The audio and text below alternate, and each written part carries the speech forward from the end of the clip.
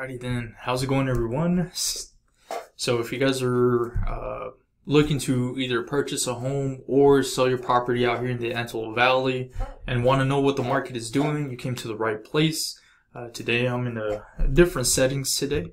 Uh, let's see, if you guys don't know who I am, I am Sam Urban. I'm a local realtor for this area, uh, and I went ahead and did the math already for you guys. Uh, so, without further ado, if you guys look at this part of the screen, um, let's see.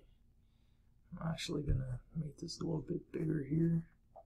So we can see the Antelope Valley market for it's not 2021, it's just when I started actually calculating everything. But uh, if you guys notice right here, in April we sold 308 homes. Uh, the medium sold price at 439,900 and the days on market went down. The amount differences, I have it on the side here. So obviously we sold 40 less homes uh, since March. And the price point, uh, at least as far as like medium value goes, we uh, is 10,000. And then the difference between days on market is 12 days. So meaning the, uh, what do you call it? Uh, the houses are selling faster, values you know, kind of dropped. Uh, not too much, not to where people were hurt financially, right? But the as far as the inventory sold at 308, uh, that's actually quite a lot too. Just because right now our inventory is a lot lower than that. Uh, we need inventory, so uh, definitely maybe around this this month in May we're gonna probably start seeing prices go up. Uh, as far as you know value goes and stuff, and uh, maybe inventory will stay low, but maybe not. I know as far as the absorption rate, uh, we only have about a month and a half of inventory left. So if 400 and something people start buying homes, then we're gonna be uh, we're not gonna have homes available, only the new homes. So, uh, and if you're interested in new builds, let me know too. I can definitely have I have a few connections in there that can definitely help you get a home. So, uh, and if you're looking to buy and you're thinking about if right now is the right time to buy, I will say yes all the time. Uh, there's only two two times in your life that you should be buying real estate. I like this analogy a lot. It's uh, mainly uh, 20 years ago and now, right? So uh, I know for me, I wish I would have bought 20 years ago. I'm not that old, but if I knew that I could buy something 20 years ago, I would have done it. Uh, but if you guys look at the screen on the left side, uh, we only have 508 homes available.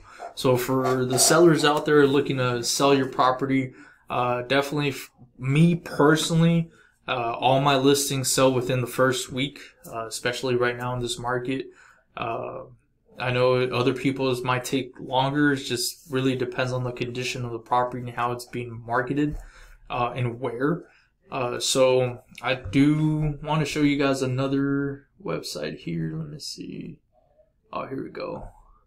HowMoneyWalks.com. I highly recommend it because it's kind of will tell you a little bit on uh, where are people moving to uh, and where people coming uh, as far as like moving here in our area. So if you notice, like if we market your property out in New York, uh, and San Francisco County, Kings County, Cook County, and Queens County, uh, we have a higher chance of getting an outside person to purchase your property. So uh, it's definitely something to look at uh, when you're selling your property. Uh, well, I mean, if you hire me, I already know how to do my job. So um, but anyways, that's nor here or there. If you guys have any questions about this video uh, or where the market is going right now, we'll do a two week uh, update as far as uh, May goes, just to kind of see the numbers and, and uh, kind of see where we're projected ongoing. But I will say this, uh, since you guys are, for any sellers right now is definitely a great time to sell. Uh, and even if you, you know, waiting for that perfect house to pop and before you even put your house on the market, I would say don't do that. Um, put the house on the market, get it accepted, have it contingent on you finding a home of choice. That way, uh, it's a, a lot easier for us to get your offer accepted than competing against other people that already have their house on the market. Uh, so, and if you guys have any questions on that uh, strategy, please don't hesitate to reach out to me. My number or information is going to be in the description below. Uh, and if you find any value on this uh, video, please uh, hit the the like button and the notifications as I will be giving you guys more information on our market here. Uh, and without further ado, hopefully you guys have a blessed day and I'll see you guys in the next video. Thank you.